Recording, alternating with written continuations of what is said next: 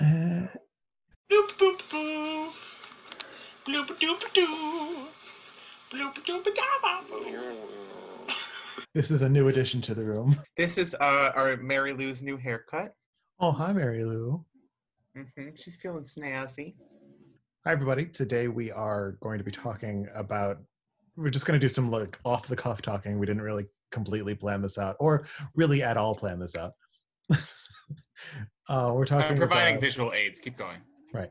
Uh, we're talking about uh, RPGs and Dungeons and Dragons and JRPGs versus Western RPGs and whatever else feels like it fits in this conversation as we keep moving forward. This is largely inspired by Game Maker Toolkit's somewhat recent video about JRPGs, which I thought was really interesting. Since we are talking about 1987 in our next like year uh, reaction video, which is the year that the first Final Fantasy game was released. And since Rameen is such an expert now on on Dungeons and Dragons, thought we'd sort of just like talk about these things and see where they're where we're going with them. D&D is a game that was designed to create something akin to what we now call open world games, right? Like to provide lots of agency in um, fantastical settings. I'm speaking a little bit out of my butthole here because I'm not super versed in the ways of the history of the development of D&D, but that is in a in a nutshell. The the too long didn't read version is that that's why it was uh, created. It does completely make sense that once computers and computer programming were more of a thing that people would try to do the same things that they were doing in these tabletop games on a computer instead. Most of the really early games are less story based and are in some ways more like D&D because you in many cases can create your character. Rameen, when you're DMing a game, what sort of things do you have in mind for like options for your party? How much can you think ahead to what their decisions might be and how can you like sort of plan for these sort of things? First of all, full disclosure, I'm still in my actually just completed my first full year of DMing. So um, take anything I say with a grain of salt. You know, I'm far from any kind of authority on the subject, but uh, when I try to plan for what my players may or may not want to do, I try to provide um, a world that is effectively a backdrop. And by that, I mean that it's actually not as detailed as people realize. I kind of just sort of plot out big route specific without being overly specific or like without pigeonholing you. And I think that's I don't want to make it sound like my world is, you know, like the epitome. If you really want a good example of this stuff, go look at like any of the D&D, you know, series you can look at on YouTube. But there's way too many for me to recommend here. But uh, point being, um, I think that's a good litmus test. And this is one way that JRPGs differ from D&D. Having that sort of expansive open worldness is possible when we are all at the same table basically improvising around one another but you know when you're creating a console game um, you gotta really hone out all those details to keep the players interest i mean like to use an example of something polar opposite from improvisation just because final fantasy 13 is like purely hallway as opposed to d&d which is purely not you know uh, but if you look at the comparison of those two things, FF13's world, even if you hate it, is super detailed, right? Like there's a whole, you could spend hours just reading the encyclopedia it gives you in the options, as opposed to like someone like my campaign setting or even like Matt Mercer's settings in Critical Role, how much of that is really stuff he's planned versus how much of it is Matt Mercer is a professional actor with amazing improv skills. Have you played any Western RPG video games? I mean, Skyrim. Uh, Okay. Yeah, I, I I, played pretty much all the Elder Scrolls. Yeah, I, I haven't really played any of those. From an outsider's perspective, of the ones I've seen, like like I've I've watched my roommate play Bioshock Infinite and one of the Fallout's. From an outsider's perspective, it seems like some of those games are a little bit closer to you know the JRPGs that we're used to because they do have pretty defined characters and um, pretty defined stories to them still.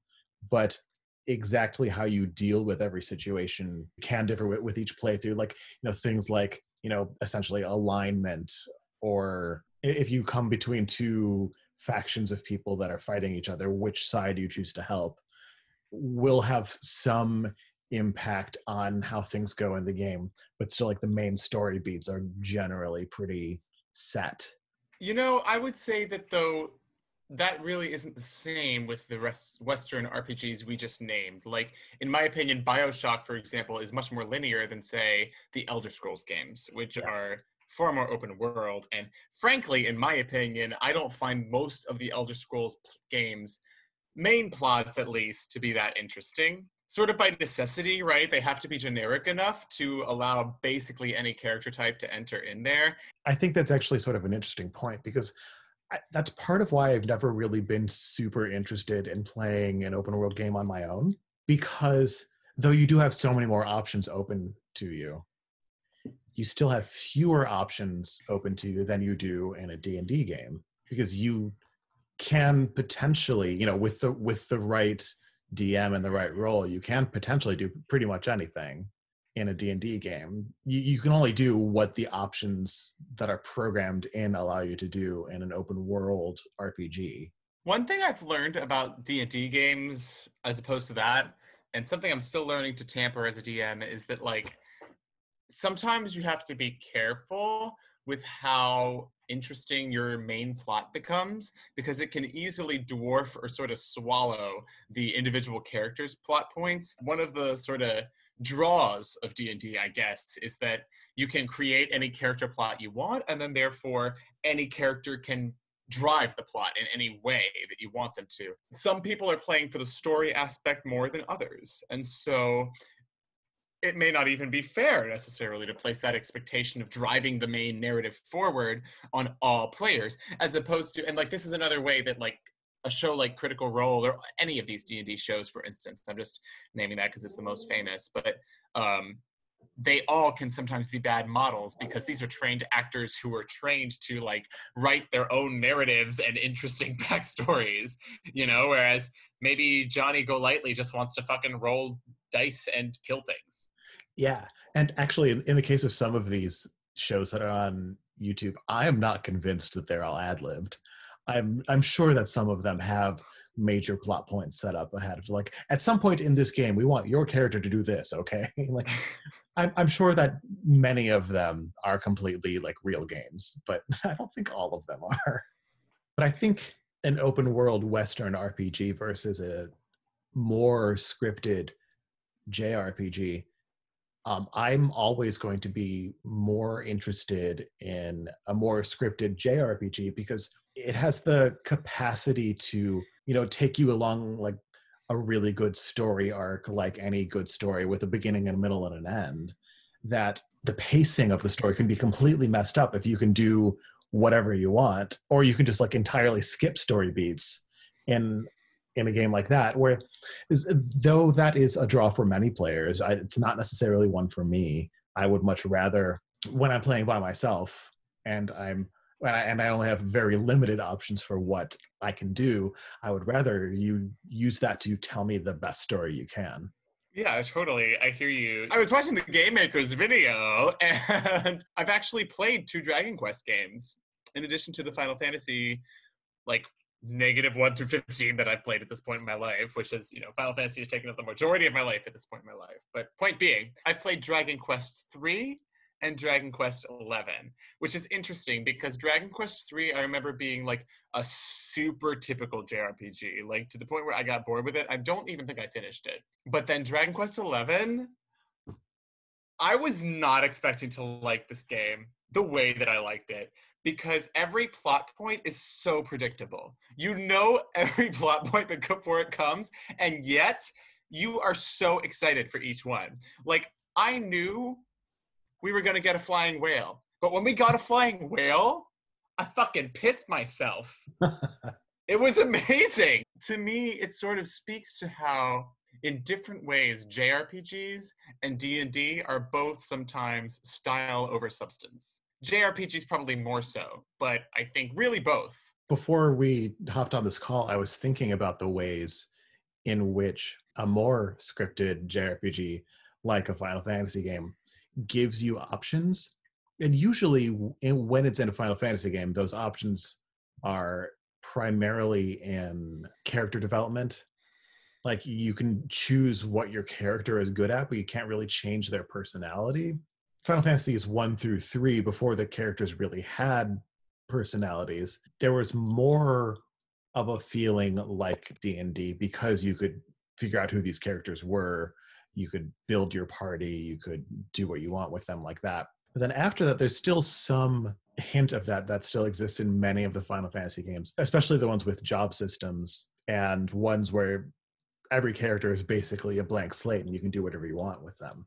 But also I tend to prefer characters that have set roles already built for them that if you're using this character, this is your tank. Do you have a preference either way for I, that? I prefer that in general too, really. I think that first of all, from a purely mechanical perspective, in D and D at least, it tends to work best when everybody optimizes their own role as opposed to trying to play multiple roles. It's certainly not as interesting on an individual perspective, at least in D and D. But um, I like that too, though, because in my opinion, it's a better reflection of real life. Like everyone has their part to play, you know, everyone has their talents. And I guess you could say most of us, by virtue of having to live in an individualistic westernized society, I guess most of us are multi classes, but um, I don't know. It's not as interesting to me. And I'm the type, I don't mind if my role or if the story is predictable, if it's told really well. Mm-hmm. Uh, because if we're being honest, most of these stories really do boil down to a typical good versus evil, you know, universal morality type of story. And the details can certainly differ interest, in interesting ways as well. But to me, the way it's told is the coolest part of all. I was thinking through specific games in the, especially in the Final Fantasy canon because that's the type of games that I know the most about that are that have a large you know body to them. But if, if we're looking through all the final fantasy games there's a little bit more creativity in how you can build your characters. The character development within most of the characters itself is strong enough that i feel for them as characters instead of what their function is in battle. Like the battle system is one of the last things on the things I like about Final Fantasy VI. Having said that, Square Enix, if you're watching, please remake Final Fantasy VI. I would buy the shit out of it anyway. Um, Actually, I, I was just talking about that in um, one of the Facebook groups I'm on. Somebody asked what game they would want to see remade, and someone said, "Well, what do you think about Final Fantasy VI?" And I said, "You know, I'm actually just so nervous about a Final Fantasy VI remake like there's that iOS port that changes all the uh, all the designs and graphics to be that like really pastel soft lines thing and I think it completely lost all of its charm when you did that. I kind of find the the pixely sprite work in the original Final Fantasy to be like really beautiful and charming and it fits the exact right tone that it should for the game. Um, not to say that there are things that I wouldn't change. Yeah, I kind of don't want a Final Fantasy remake. I would rather a new game in that vein made. but I don't know what old game do I want remade. Chrono Trigger. Yeah, yeah, that is one that I actually Chrono Trigger. say that. Oh no, the the one that I said, um, I would really love it if they remade and actually finished Xenogears. Yes, I was about to say that. Okay, okay, yes. Uh, so I feel like what what we're really getting at here, and I think the biggest and most important difference in D&D and and and uh, Final Fantasy and JRPGs is really like the level of agency not so much in player development but in plot and player choices there. And really if we're being realistic in a JRPG that's not going to change, right? The the plot choices have to be pre-selected for you even in scenarios like Persona for example where they sort of give you the illusion of agency. You, you don't have agency. It's still going the same direction. Plot is one of those things that people always say they really, really want in a game, but when push comes to shove, they tend to skip over those elements. Like, I mean, you're saying, for example, you love to talk to most NPCs in most towns. I imagine that that may not be true for most players, or at least for a significant number of players, right? I mean, most Twitches that I watch for JRPGs aren't really spending their time doing that. And similarly, I think that agency functions sometimes the same way. People like to think they want a lot of agency, but when push comes to shove, they don't have a lot to do with it. I think that what we really want, and people are afraid to admit because it sounds a little banal, I think we just want excitement, right? I think we just want intrigue and cool shit, and we want to feel engaged. And, you know, if that means that we have a decision in the matter or we don't, does that really make much of a difference? I mean, look at Final Fantasy VII. No agency in that game, right? Zero agency, at least for the first, like the parts that most people remember, but so engaging that you don't care. I don't know. I'm probably assuming a lot here, though. I think we can assume those sort of things about JRPG players, not necessarily about video game players. Because I think some video game players, they're like the type that, like, oh, there's a mountain in the distance. I want to go climb it. and not like, I, I can't wait until there's a reason for me to climb that, which is more how I would think. But there's some people that are like that. I want to go, I see that. I want to go do that right now. And that that's something that you know in that case a jrpg probably isn't for you. Yeah. You know as we're sitting here talking though another thought occurs to me too. Like as i compare it in my head playing like an elder scrolls game which are the main western rpgs i've played with a final fantasy game it's interesting because you would think these open world games would have the kinds of worlds that would really interest you but the final fantasy worlds tend to interest me more and i think it's because really the npcs interest me more and are more memorable. In Skyrim, I don't think I could name you a single character. And I've beaten and played that game so many times. So many times. But like I can name every single Cid from each Final Fantasy game, even though they all have the same name, and describe to you exactly what the difference is. Right. You know? Or like you can go into like a character that we may have extra strong feelings about, even though they're actually quite small characters in the plot, like Schala in Chrono Trigger. Like I have feelings about her, even though she's in a very small portion of the game. The NPCs, for, for me, the NPCs in Skyrim at least, they just feel all the same. You know, it's like, oh, now you're the new asshole I report to. Okay, cool. Are we done yet? Thank you. Which I think is is also interesting because if we look back at the earliest JRPGs, like the first couple Dragon Quest slash Warriors, and the first couple Final Fantasies. Like even when there are characters who are named and have personalities, we don't really know anything about them. Hey, R.I.P. Sarah. I don't. Does Sarah die? I don't actually know. Is she?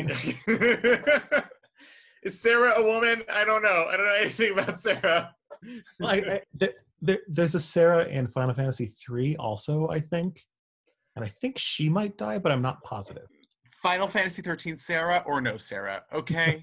Just kidding. She's not good. But she got to ride that motorcycle through an active fireworks scene. And she got a whole sequel, even though we all thought that sequel was for Lightning, which is great. but it's okay. Lightning returned. but also, though, that sequel had a pretty good soundtrack and also was pretty fun, even though the plot is total garbage. But also, okay, I'm done. Uh, no, there, there are other Final Fantasy sequels that the plot is total garbage, but are fun to play, like Final Fantasy X. Yeah. And you know what? Actually, that brings me to another point that I wanted to bring up, which is that sometimes in Final Fantasy, especially, and maybe this is the fact that I'm playing Final Fantasy 14 right now, which is the king of what I'm about to tell you as an MMORPG. But sometimes the style or the appearance the aesthetic is literally enough. I think that we are quick quicker to dismiss that than we should be. I don't think that should be our main concern when we play video games or any other kind of media, but you know, there's something to be said for for once not having a fucking Tolkien inspired style. Credit where credit is due. The styles of FF13 versus FF12 versus FF10 versus FF9, 8, 7 are all pretty different. Yeah, but I think it's also tying back to the point that you made earlier that like when you're creating a world for a D&D campaign to take place in, you want there to not necessarily be that much specificity to it. Um, whereas it it makes more sense to have more specificity in a JRPG where you are being given all of this information, being told all of this information, instead of having to discover it for yourself. But also, a whole lot can be learned just from you know moving to that next screen and seeing something in the distance than a DM explaining it to you. But at the same time, I also think there's something special at the D&D table about just theater of the minding something collectively. If I were to sit here and describe, for example, and again, I'm just going to use the most common one everyone's played, the world of FF7, to like a room of four people, and not show them a picture, each one of them is going to have a pretty different picture. And that's sort of what's cool about it. I think we tend to think that immersion and good writing needs to be like manically detailed you know in that way that final fantasy games are on screen right? Like the ff13 cinema sequences. If there's a million things to look at. By comparison if you listen to most professional dms when they describe things there's like maybe two three details. Um, but that's the magic of it too. Yeah, and I think we could also relate that to something in Final Fantasy itself, notably from Final Fantasies 1 through 9 and then 10 on with voice acting. Because I think, you know, the audiation of reading text and imagining how a character would say that in your head versus having a voice actor, however talented they may be, saying this is the way the character reads that line. There, there are some moments in some of the earlier Final Fantasy games where something a character says can be interpreted several different ways depending on what emphasis they put on it. And you uh, usually can figure out through context clues what they really mean. But that's another thing that's just like spelled out for you more specifically in Final Fantasies 10 and forward. Mm-hmm. Yeah, it's funny you say that. I used to not really have an issue with the voice acting, but lately I do think I kind of, in some ways, miss it, miss not having it. I miss it all not being voice acted. Like, as an example, again, I'm playing uh, FF14 right now. I think I've already said that a couple times.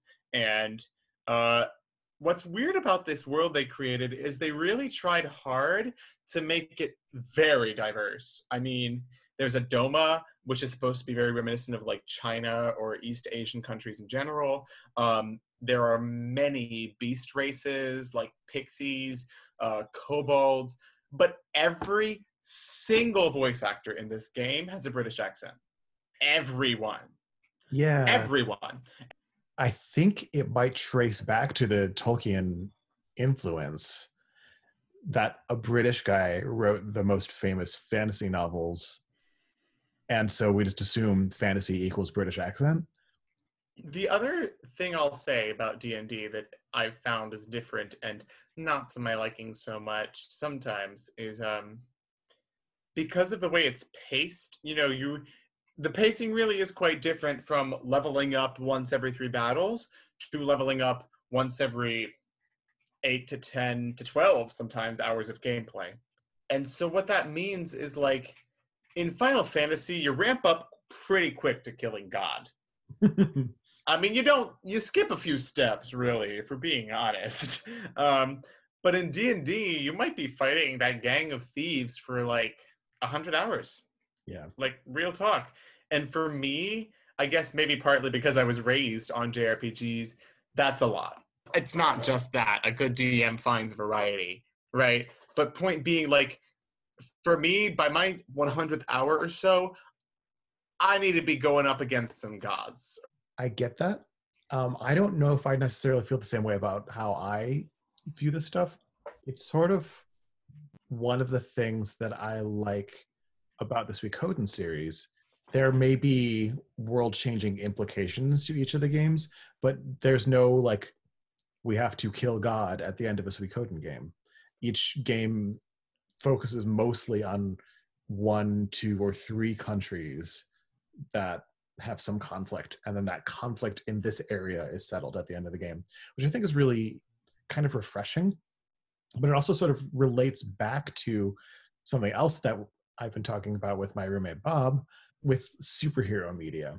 So much of the marvel cinematic universe in general especially is building up to one huge big bad after every you know x number of movies. And it's like this one can destroy all life and this one eats planets. And it's like those are the least interesting villains to me i want the stories that are more personal and have real like interpersonal ramifications to the the story that you know these sort of things could be happening to people without superpowers. They just happen to be happening with pe- two people with superpowers. So like as much as captain marvel is amazing and she's a great character she's also in some ways a less interesting character because she's so powerful that's all just my opinion on these things and i can see how you know a bigger payoff after fighting a bigger enemy might be worth it too well you know is worth it Yeah, well, I think that it also sort of ties back again to the players you have at the table and the DM you have at the table. Just like it, the parallel details in another Final Fantasy can make or break it too, right? Like great plot, but crappy NPCs and crappy party characters are going to ruin it for you. what jrpg can you think of that has a really excellent plot and has really great ideas to it but you hate the cast This is going to sound weird. Final Fantasy 12, I think. I like some of the cast, but most of the cast, I don't care for the two kids. I don't care for Fran. i like fran I honestly don't even care that much for Basch and his stupid twin brother plot. I think it's kind of lame. yeah I care Um, for Balthier and Ashe. actually much. really it, just ashe she's the actual main character Yeah. game Yeah. But Um, the the actual plot and the setting are great. Yeah. Well, and, and that's the one Final Fantasy, well, the one mainline Final Fantasy that isn't as much about some world ending plot. There's the implication that Vayne, if he kept going at the route he would, could have gotten to, you know, world ending god status. But it's about conflict in one area of the world. Actually, the, the other game that I was going to talk about that the plot and the themes and the ideas in the game are so great, but the cast really isn't but we talked about this before it's really just because the cast is such a blank slate cast earthbound it's such a good game it's one of my all-time favorites but other than a few moments here and there namely with jeff and his boyfriend um, there's nothing really to relate to with any of the characters in how they interact with each other and with npcs But a little know, bit I- of ness and paula but I think that's almost the point of those characters is to be easily grafted upon by the player. maybe you don't always need great characters Well, that's what I'm saying. Like it, it depends on the context. Uh, but at the same time, I don't think there's a way to make Earthbound a compelling tabletop RPG. no I mean, half of the humor is in the, the visual aesthetic, really. Yeah. and we were talking about music earlier like that game that music fits that world so well and But would fit no other worlds well. Right. also this is sort of a like retread of an earlier thought that but since we were just talking about music the way that uh, one of the better scripted jrpgs can really reel you into a moment in storytelling is through the music and i don't know of open world games that do that in the same way Yeah. It's funny you say that. I really try to evoke that same effect in my games. I mean, I use actual JRPG soundtracks, but it's been to sort of varying effects. Um, it works especially well for extended DM narration sequences where I need to really set up a new scenario or provide important plot context. It does not work as well for like just sort of day-to-day npc interactions sometimes also does not work well for plot I wonder if part of the reason that it's harder to do something like that when you're DMing a D&D game, something like that with music, I mean, is because people playing a D&D game don't always come in with the same baggage. Whereas if you're playing a JRPG, any moment in that game can be more effective because you have the baggage of the musical language of the rest of the game. that you that's led up to that point. Yeah, you know, um, I've been thinking about this in the way that leitmotifs function in JRPGs. Um, you see this a lot, for example, in Final Fantasy X with the uh, Suteki da ne theme, which appears in many other parts of the game, or in Fire Emblem, which I just not just finished playing. I've been replaying for the last COVID tide. Um, but they use a lot of the leitmotifs from the vocal theme song of that game, and, and in other ways, you know, they echo leitmotifs that aren't from the vocal music too. Um, this is true of many JRPGs. Uh, and it really does serve well to evoke emotions that you had previously that are harder to make happen in a D&D game where like it's been 2 weeks since most of these people have heard this music or even 1 week.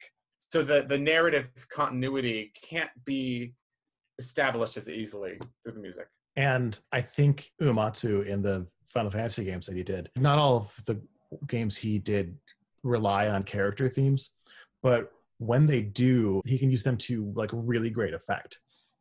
Again, going back to Final Fantasy VI, which I will always do forever, Celes's theme in Final Fantasy VI, you hear three times in the game. First in the opera scene. We'll come back to the second. The last time you hear it is in the final credits. the, the only other time you hear her theme is at the moment after she has come back to the party, after everyone thinks that she betrayed them and she and Locke have just a really brief conversation at night in Albrook. Locke is trying to reach out to her and apologize to her, and she doesn't have any dialogue. Instead, we hear her theme played by that uh, played by a music box, and it's like we know exactly how she's feeling because of the way Uematsu put that into the score right at that moment, and it's so perfect. But you know, I think now that I hear you talk about this and I think about it, I feel like we're sort of dancing around a really important key aspect of all this that makes that sort of musical narrative telling less possible, which is that really what a lot of this music is functioning to do in JRPGs is graft a feeling onto the player, right? As you just stated. Um, whereas in D&D, half of the fun and the point for many people is agency of emotion too. Like, what if I want to play the character who's a douchebag and who is not moved at all? You know? So then me playing my sentimental JRPG music isn't really going to help you there, you know? Um, and then there's a sort of give and take too of like, how much of it does the DM want to graft? Because sometimes that is appropriate.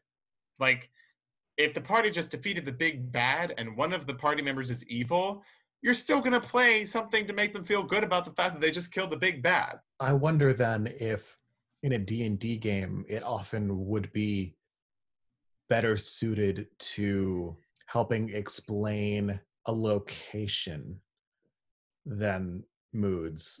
Like you could figure out what kind of tavern you've just walked into based on what kind of music is playing, you know?